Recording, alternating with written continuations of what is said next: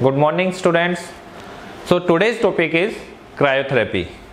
So myself Dr. Lokesh Sharma, Associate Professor, Mahatma Gandhi Physiotherapy College. So I am going to teach you about cryotherapy. So what is cryotherapy? Cryotherapy or ice therapy is the application of cold to the body tissues after injury. So ice का use कब करते हैं specially after any injury to our body. Local cold application may be applied by the use of various forms of ice or frozen gels pack or by evaporation of volatile fluid from the skin. Often skin temperature is reduced to 10 degree centigrade. So after applying the ice, the skin temperature is reduced to 10 degree centigrade. So, what are the physiological effects of ice? First is circulatory response. The initial skin reaction to cooling is an attempt to preserve heat. It is accomplished by an initial vasoconstriction. So, immediately when we apply the ice, what happens? The our vascular supplies undergo vasoconstriction. This hemostatic response has the effect of cooling of the body part. Why it is going vasoconstriction? Because of cooling effect to the body parts. After a short period of time, the duration depends on the area involved. A vasodilatation follows with alternating periods of constriction and dilatation. So what happens once uh, our vessels will go under vasoconstriction then vasodilatation. This reaction of hunting for a mean point of circulation is called Lewis-Hunting reaction. So what is Lewis-Hunting reaction? The vessels will undergo vasoconstriction, then vasodilatation, then again we will apply ice, then it will go vasoconstriction, vasodilatation. So this procedure vasoconstriction and vasodilatation is known as Lewis-Hunting reaction. During the vasodilatation, the arteriovenous anastomosis is closed thus causing an increased blood flow through the capillaries. This is beneficial in the treatment of swelling and tissue damage. So, this is helpful in tissue damage and swelling. So, what happens? There will be brushing of uh, arteries. Then, if we apply ice, then that brushing uh, uh, is leading to a droplet of bleeding and all, and it is leading to swelling. So, this will be reduced. Thus, ice therapy is very useful in removing swelling and accelerating tissue repair. So, what ice does? It does reduce swelling and accelerate the tissue repair. That is, ice cube massage may be used to accelerate the rate of repair of pressure sores. The reduced metabolic rate of cold tissue allows cold muscle to contract many more times before fatigue. So metabolic rate is reduced. So the fatiguity of the muscle is also reduced. So muscle can work for the longer time. Then neural response. The skin contains primary thermal receptors.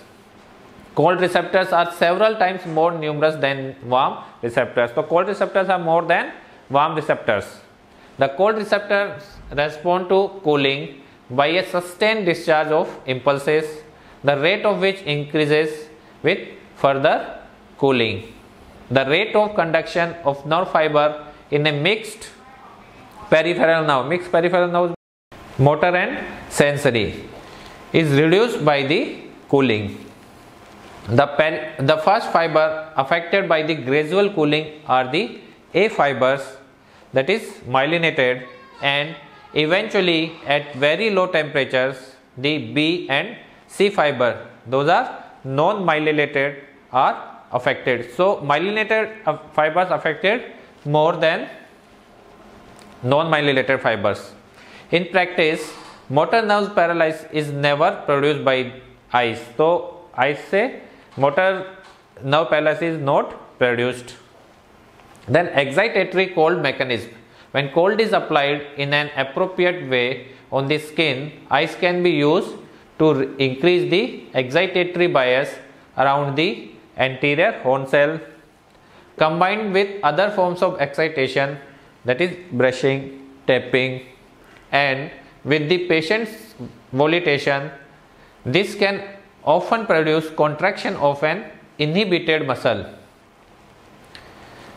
This effect can be used when muscle are inhibited post-operatively or in later stage of recognition of a mixed peripheral nerve.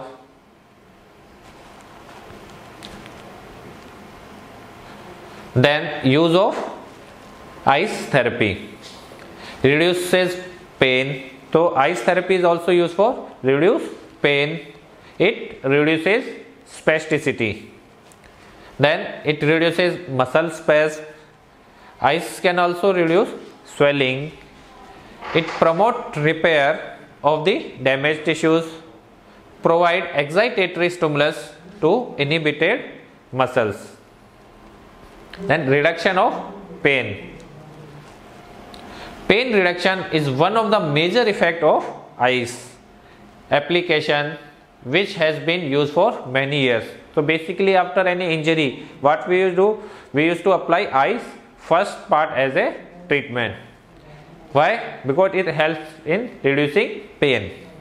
The probably me probable mechanism is that by the stimulation of the cold receptors impulses will be sent back which will pass into the posterior root of the spinal cord.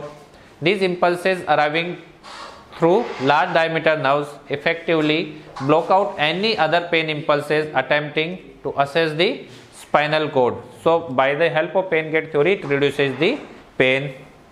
This reduces the pain temporary for permanent pain relief. Positive physiotherapy strengthening mobilization has to be given during this period of transient pain relief. Then reduction of spasticity. So first what is spasticity? Spasticity is increased tone of the muscle due to the upper motor neuron lesion. Spasticity is the pathological state of increased muscle tone resulting from damage to the upper motor neurons. The small anterior horn cell from the higher control of extrapyramidal system and fires spontaneously at an increased rate. The net result of this is ultimately to increase tone in the extrafusal muscle fibers when the hypertonic spastic state appears. Then what is spasm?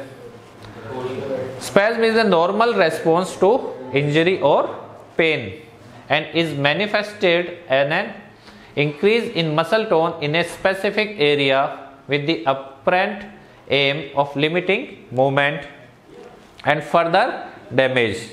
However, the amount of spasm is often exceeding and the sustained contraction of muscle will in turn start to produce pain often resulting then in more spasms.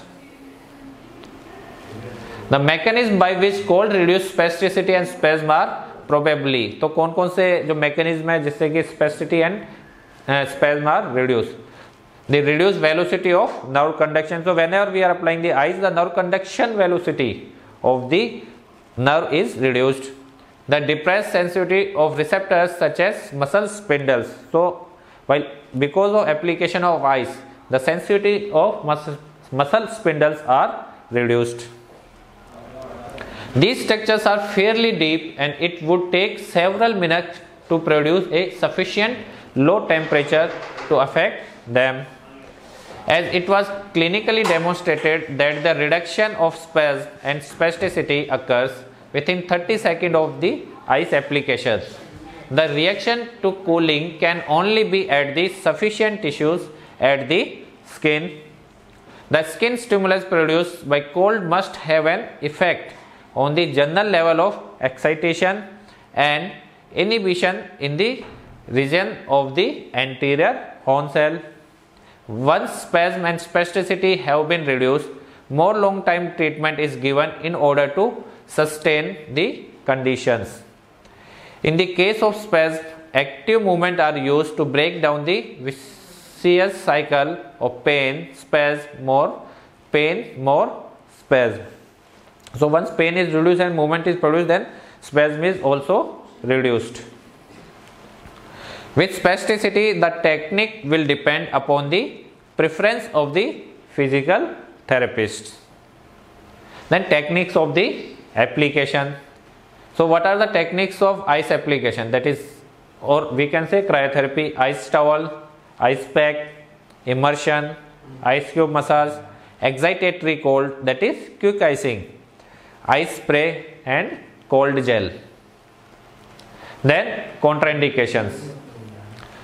So what are the contraindications of cryotherapy? Cardiac condition, psychological, peripheral nerve injuries, vasospastic disease, peripheral vascular disease and cold sensitivity. So thank you very much.